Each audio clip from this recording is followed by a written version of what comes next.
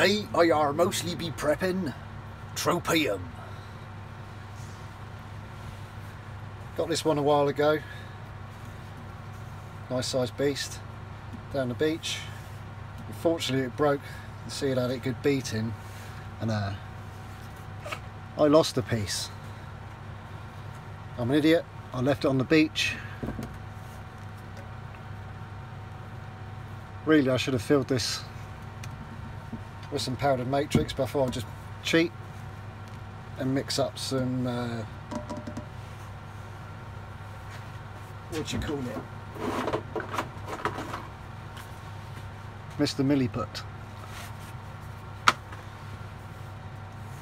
that's done the whole but it's too dark I should have mixed it with something um, usually with me uh, Tropaeum I like to use a bit of clear boot polish just to bring out the colour. And a couple of times I've used a bit of black boot polish. As you can see it's lighter here than what it is between the on top of the ribs. Between here was originally black. These Tropaeum have got a very thin layer of nice black thin skin and it's easily washed and rubbed off during cleaning. And this was a pig to prep so I'm going to try and recolour between there a little and try and colour match this a bit with some boot polish. Mr Kiwi. Not a lot left so I don't know how far we're going to get.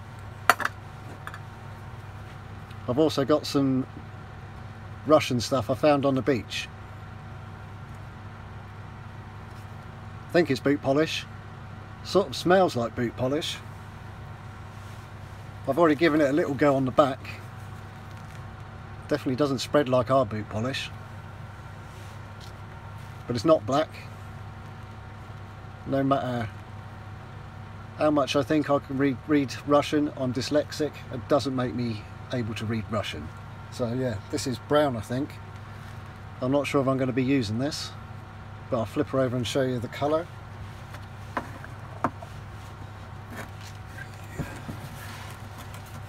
Monster.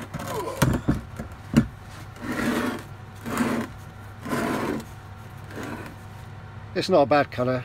They do come out a nice rusty brown anyway. Usually on the back. Look at that gap. Nice open coiled ammonite. Covered in shells.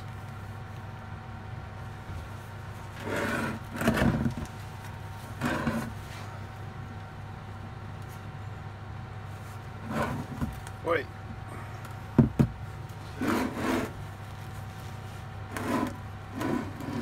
The best thing before using like a boot polish is just to warm warm it up a little.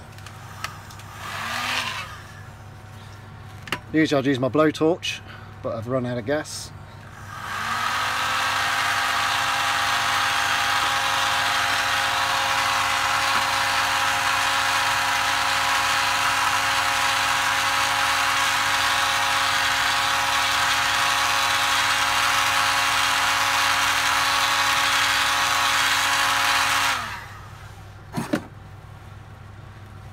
Tiny bit of warmth to it.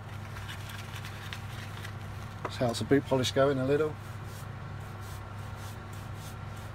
Just adding a little bit so I can build up on it.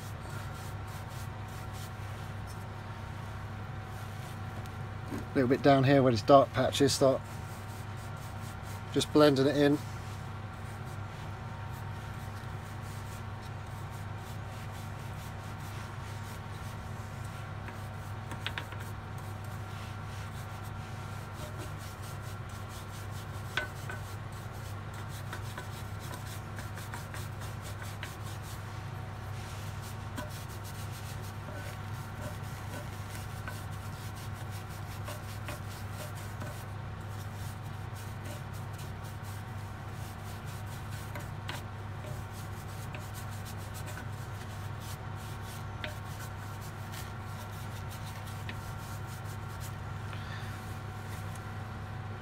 Definitely looking a bit more like it should look.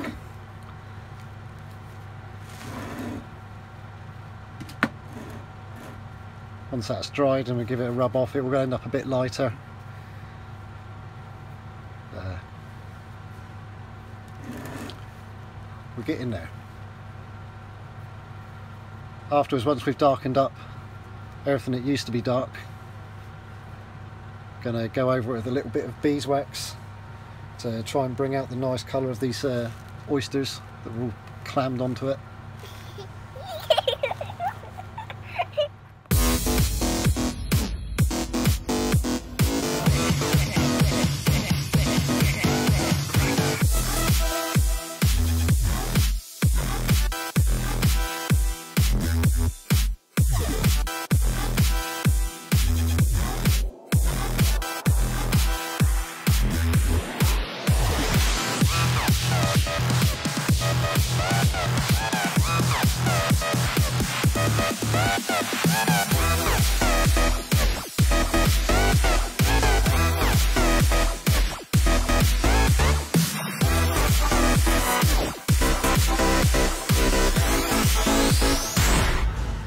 That's gone quite well. Boot polish has gone quite far, only a little bit's been used. It only a little bit needs to go far.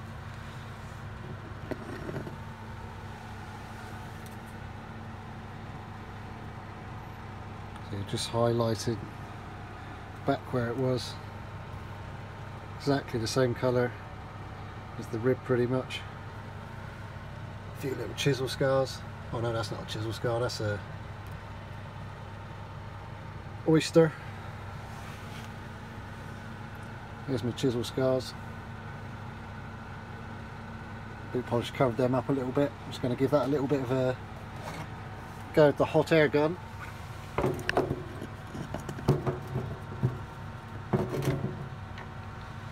Just to get the stuff to soak it in a bit better.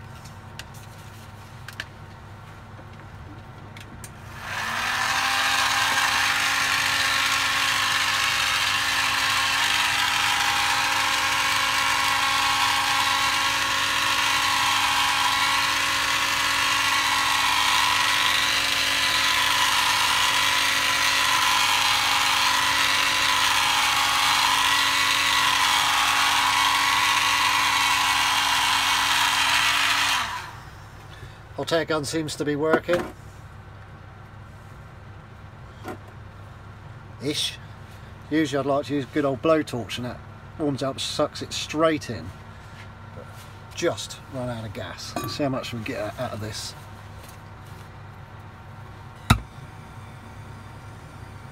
Uh, still a little gas.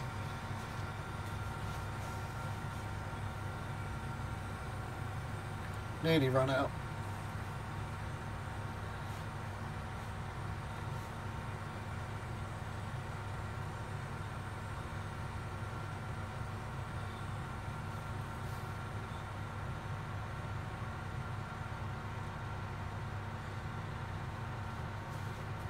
Just like to heat it up with the gas. The heat helps it suck into the rock a bit better. Into the fossil.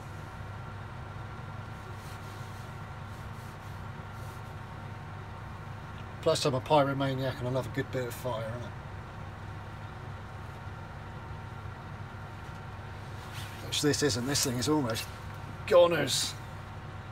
Not bad, I've had it nearly 15 years, probably longer nearly 20 years. Yeah, she's a goner.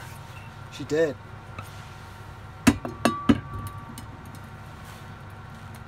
Oh, just let that dry out and we'll give it a rub down. A little buff off takes some of the uh, polish away.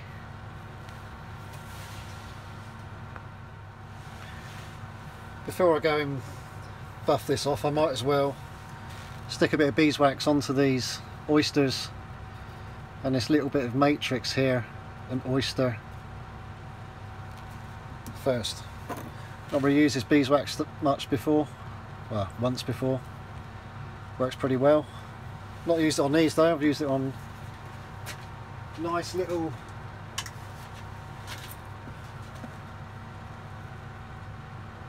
little calcite green ammonite from Dorset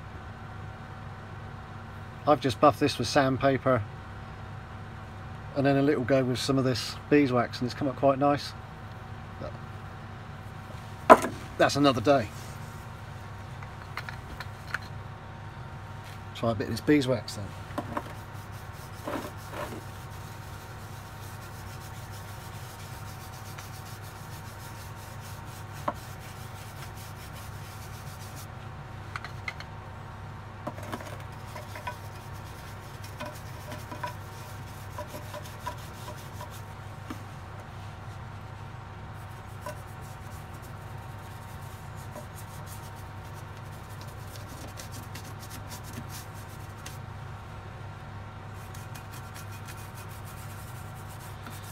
Might as well getting these little bits, little bits of ribs that I've missed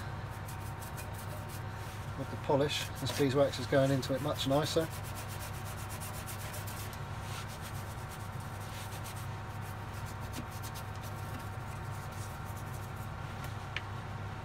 A little bit more for these oysters here.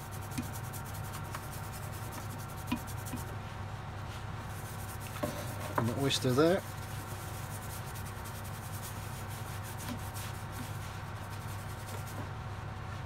She stinks.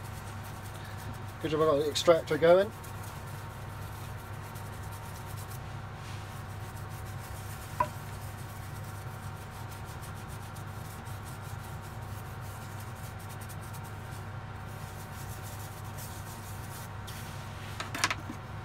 I'll rub up what's left on that.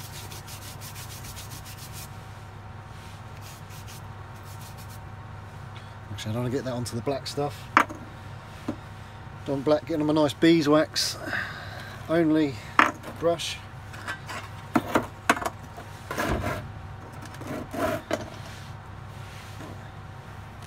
Got my get her off brush. Start trying to take some of this black boot polish off.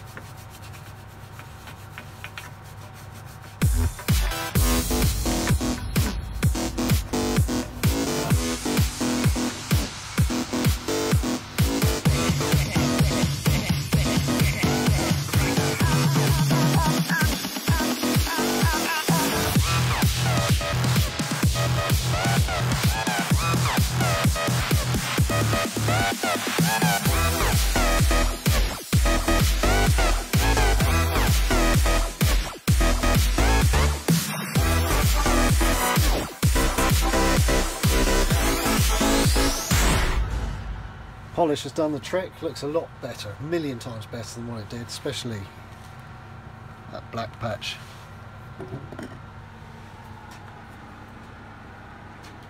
Much more pleasing. Nice colour. Nice shine to it. You see this black one here? She's a bit dusty. Not finished or cleaned. Much more the colour it should have been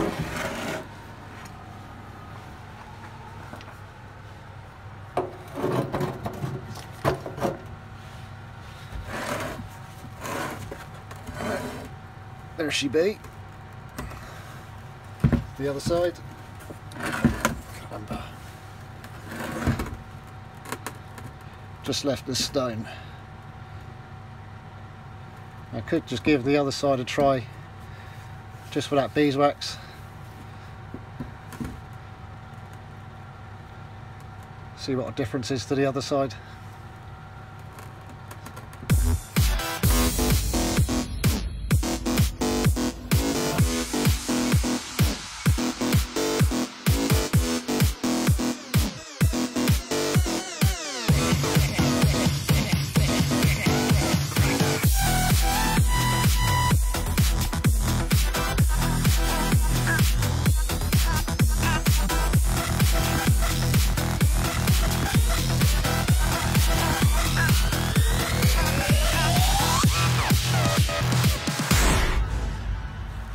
Now that beeswax polish, that coated and covered lovely compared to using the clear boot polish I'd usually use. So definitely recommend the old Briwax beeswax. So I'll give her a quick uh, buff off. Just take the excess off.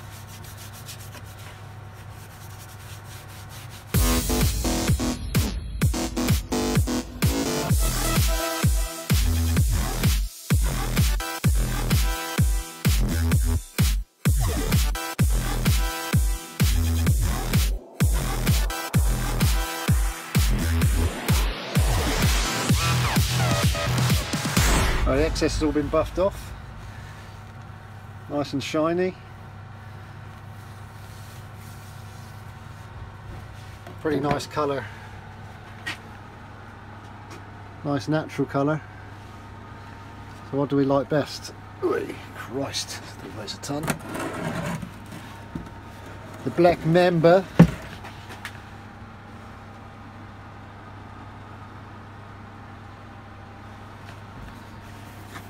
Don't know.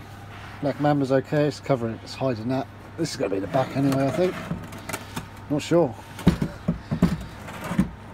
Which side do I look at in the, in the lounge?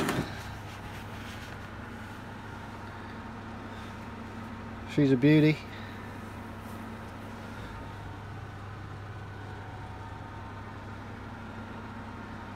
Thanks for watching. Please like and subscribe.